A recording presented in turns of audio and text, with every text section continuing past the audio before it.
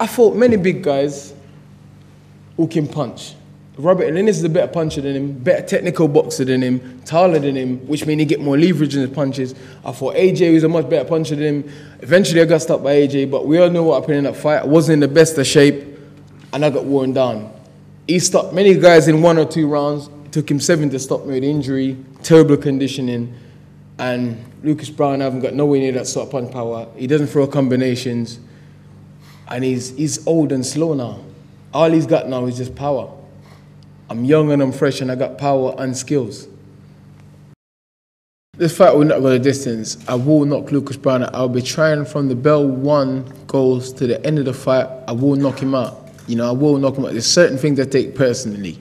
You know, like I'm, like I said, I'm a, I'm a nice person. I'm all right. You know, I'm, if you're if you're an asshole to me, I'd be an asshole to you. Simple as that. And this guy is a nasty bit of work.